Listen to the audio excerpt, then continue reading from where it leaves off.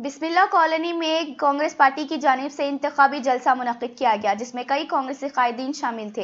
इस मीटिंग में कांग्रेसी उम्मीदवार के फर्जंद कार्तिक रेड्डी ने मीडिया से बात करते हुए जलपल्ली इलाके के मसाइल के ताल्लुक से गुफ्त शनीद करते हुए कहा कि अगर वो जीतेंगे तो सारे मसाइल हल कर दिए जाएँगे। तमाम तारीख के दिन दिसंबर तारीख जो में है तमाम अपना कीमती वोट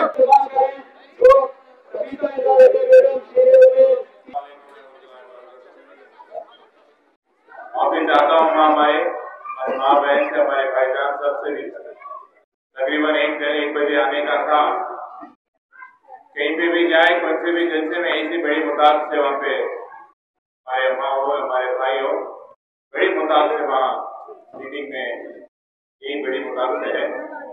तो हर मीटिंग आधी घंटा, वाली मीटिंग एक घंटा, एक घंटे वाला मीटिंग दो घंटे।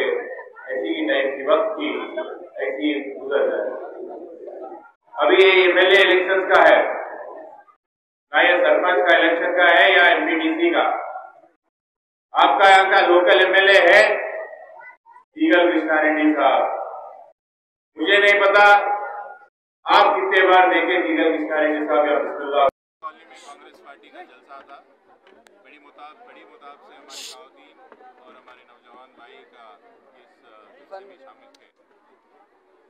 पूरी अपना जलपली म्यूनसिपाली में ड्रेनेज का मसाइल है पीने पानी का मसाइल है मच्छर का मसाइल है मीठे पानी का मसाइल है।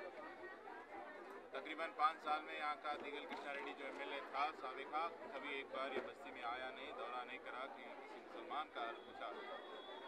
यहाँ के पूरा मुसलमान अवाम दीगल दीगल कृष्णा रेड्डी पे वोट गई है। अभी ये बात ज़रूर कांग्रेस पार्टी और हमारे वालदा इंदर रेड्डी को जिताने